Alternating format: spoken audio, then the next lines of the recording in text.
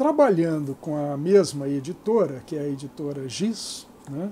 Em seguida, é, eles comentando, ah, vamos fazer mais um livro, etc. Eu não tinha um, um outro livro pronto, eu, eu tinha acabado de ganhar um prêmio, que foi um prêmio de, de crônica do Sindicato dos Professores do Estado de Minas Gerais, o Simpro-MG. Eu acabei de me inscrever numa, num concurso do Simpro e ganhei o primeiro lugar numa crônica chamada justamente A Máquina de Ensinar.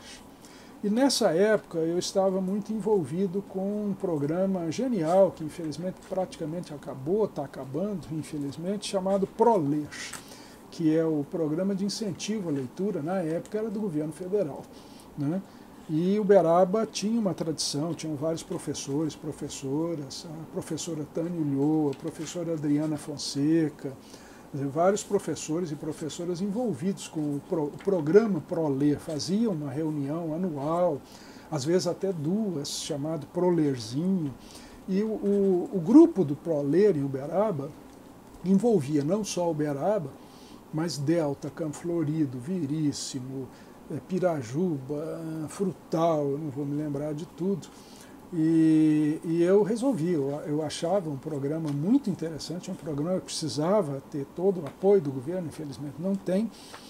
E eu então resolvi, influenciado pela minha participação no ProLex, eu resolvi selecionar aqui todas as, todas as crônicas que tivessem alguma relação com educação e com livros. Né? Então, por exemplo, Bibliotecas para o Futuro, certo? Ou então é, vamos, vamos ver mais um aqui. Você recebeu uma mensagem sobre a questão da internet, né?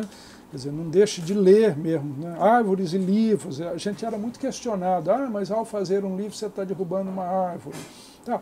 Sim, mas você está plantando mais uma, mais duas, mais três. E outra coisa, não se faz livro com papel de aroeira, de bálsamo, de, de, de, de jequitibá, etc. É eucalipto, é uma coisa diferente. Né?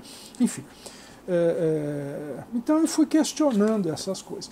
Só que foi justamente o momento, esse livro é, de 2014, em que o Brasil começa a entrar numa situação política negativa, ruim, de muito acirramento das coisas. Isso acabou afetando principalmente o aspecto cultural, a literatura, né?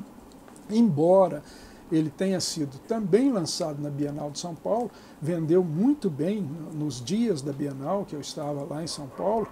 Ele não, ele foi, não, não teve marketing, não teve. Mas, por outro lado, felizmente, praticamente esgotou. Principalmente, ele teve muito, uma boa recepção da parte de professores. Né? Então, eh, mas, enfim, acabou, passou.